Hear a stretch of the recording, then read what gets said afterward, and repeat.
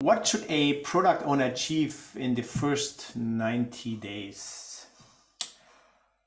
Now, if you work agile, you know, often people say we are agile, we have no clue, we just start, we are agile. And this is wrong uh, because you always need a, an, a fixed point, a clear point where, where you want to go, where you want to kind of see yourself uh, kind of working towards the vision of the product. So I think one of the first things you do, and that's probably not in the 90 days, that's maybe in the first 10 days, come up with a good product vision and then communicate that and make sure this vision is suitable for all the stakeholders you have involved.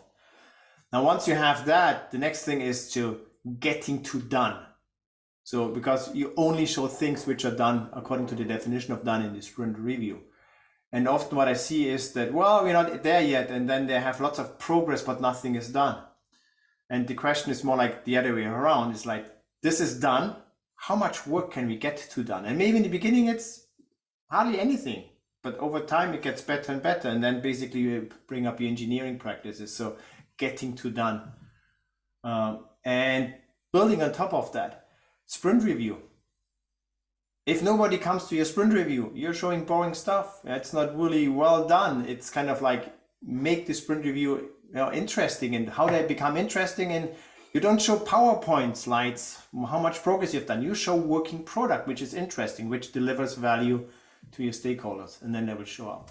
And that's what I believe you should be doing in the first 90 days.